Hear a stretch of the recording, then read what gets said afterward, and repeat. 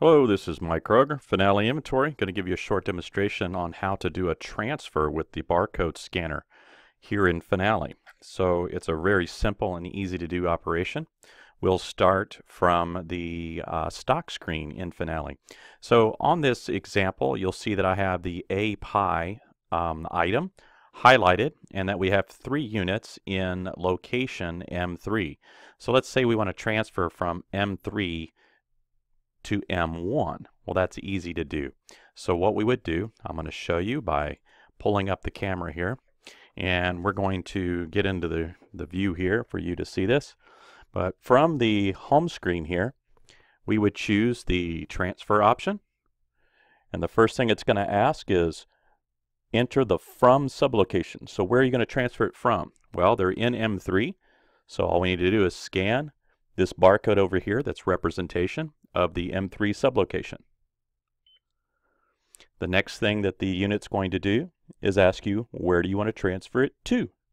So we'll transfer it to this M1 sublocation. The next thing it's going to ask you is, is go ahead and scan the item you wish to transfer from M3 to M1. So I can just sit here and transfer all three units if I want, or just one. But if I scan the uh, apple pie, that counts one item. So you'll see that it says last right there at the bottom. It says last one of the apple pie. So I've transferred one. If I scan another one, it's transferred two.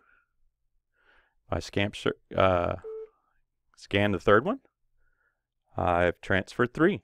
So if we want to review that, we can actually see all the items that we've transferred.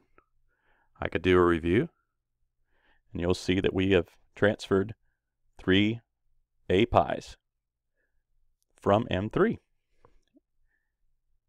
and go back to the main menu. That's it. That's as easy as it is to do a transfer with the mobile barcode scanner solution from Finale Inventory.